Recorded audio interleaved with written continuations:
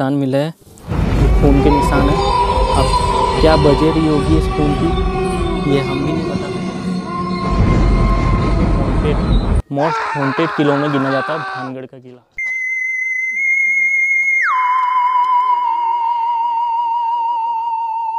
Hello दोस्तों, स्वागत है आपका अपने यूट्यूब चैनल पर। दोस्तों, आज के वीडियो में हम आपको लेकर गए भानगढ़ फोर्ट, जो कि सबसे हॉन्टेड फोर्ट है। ये देख सकते हो आप हॉन्टेड किला।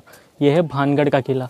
और दोस्तों, यहाँ पे ये बताया जाता है कि ये राजस्थान का ही नहीं, पूरे भारत का सबसे टॉप वन हॉन्टेड किला है। यहाँ पे पाँच बजे के बाद में आना बिल्कुल भी अलाउ नहीं है। यहाँ पे पूरे जो गवर्नमेंट के हाथों में है यहाँ पे, और गवर्नमेंट भारत सरकार भी इसको हॉन्टेड मान चुकी है। इसलिए यहाँ पे पाँच बजे बाद एंट्री बिल्कुल बंद है, सूर्यास्त के बाद में यहाँ पे कोई भी नहीं आता। और दोस्तों, ऐसा माना जाता है कि यहाँ पे कहीं अगर रुक भी जाता है तो वो वापस बाहर नहीं जा पाता इस किले से। तो इसके मतलब क्या रहस्य अभी हम यहाँ पे पूरा जानेंगे। और साथ ही साथ हमें यहाँ पे कुछ खून भी दिखाई दिया। ये देख सकते हो दोस्तों, ये खून है जो कि मैं आपको बैक कैमरे से बताऊँगा। ये खून देख सकते हो। ये किस चीज़ का खून है, ये मैं नहीं जानता। ये है भानगढ़ किले के अंदर। खून है पूरा। और ये पूरा भानगढ़ फोर्ट। और दोस्तों, यहाँ पे एक सबसे बड़ी बात, अगर आप यहाँ पे आते हो तो यहाँ पे हमारे को एक गाइड ने बताया कि कभी भी यहाँ से जाते वक्त यूँ नहीं बोलने के लो आ जाओ, चलो। क्योंकि यहाँ पे ऐसा माना जाता है जिन्हों की अकाल मृत्यु हुई जो शापित किला है।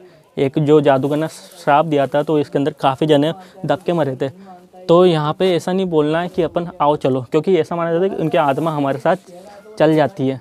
तो चलिए फ्रेंड बैक कैमरे से दिखाते हैं आपको किस प्रकार का नज़ारा है। और चैनल पर नया तो सब्सक्राइब करके बेल आइकन का बटन ऑन कर लेना।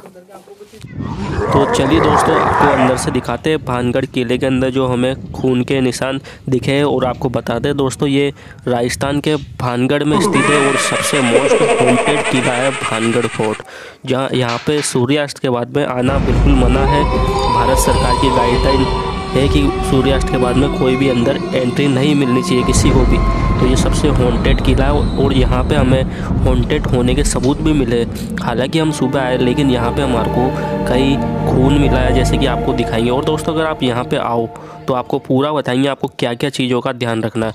दोस्तों, अभी तो ये शॉर्ट वीडियो है, लेकिन हमने यहाँ पर पूरा सर्वे करा है। अपने चैनल पर पूरे यहाँ के वीडियो आएँगे।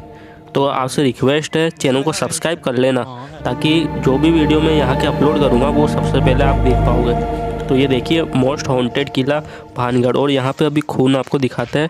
यहाँ पे हमने, दोस्तों, यहाँ पे हमने खून देखा था। जैसा कि अभी आपको वीडियो में बताने वाले और यहाँ पे पूछेंगे भी मतलब क्या क्या चीज़ों का ध्यान रखना चाहिए। अगर यहाँ पे अगर हम आते हैं तो चलिए, नहीं बोलना चाहिए। दोस्तों, ये देख सकते हो, ये भानगढ़ किले के अंदर हमारे को खून के निशान मिले हैं। ये खून के निशान है। आप क्या बजे रही होगी इस खून की? ये हम भी नहीं बता सकते, लेकिन यहाँ पे ऐसा माना जाता है कि अगर किसी के अंदर कुछ ऐसी चीज़ होती है तो वह यहाँ से कूदता है या कुछ ऐसी नेगेटिव होती है उनके साथ जो उनकी मृत्यु हो जाती है, जैसे ऊपर से भाई खड़े, अगर इनका एकदम कुछ भी ऐसा होता है तो ये अपने आप में कूद जाएँगे, ऐसी कुछ चीज़ें होती हैं यहाँ पर तो इसलिए इसको सबसे हॉन्टेड मोस्ट हॉन्टेड किलों में गिना जाता है, भानगढ़ का किला। यह है भानगढ़ फोर्ट। तो दोस्तों, यहाँ पे आओ तो बहुत सी चीज़ों का ध्यान रखना मैं आपको इस वीडियो में बताने वाला हूँ क्या क्या चीज़ों का आपको ध्यान रखना यहाँ के जो बुज़ुर्ग हैं उन्होंने बात करी थी मैंने। गाइड हैं यहाँ के, उन्होंने मेरे को पूरी बढ़िया तरीके से जानकारी दी है। उसके बारे में आपको बताने वाला हूँ।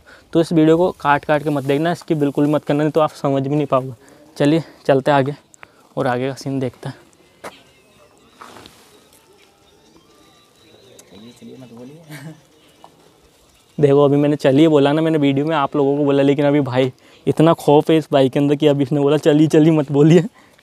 यहाँ पर मान्यता है कि लोग कहते हैं कि यहाँ पर हाँ। चलिए या फिर आइए ऐसा कुछ नहीं कहना चाहिए क्योंकि जो भी चीज़ें होती है जो गलत चीज़ें होती है या फिर जो भी डरावनी शक्तियाँ मानी जाती है भूत प्रेत वो हमारे साथ तो चल साथ में चल सकते हैं ऐसे कहने पर कि चलिए या फिर रुकिए ऐसा कहने पर। चलिए फिर आगे चलते हैं अपन दोनों ही अभी। चलिए आगे चलते हैं।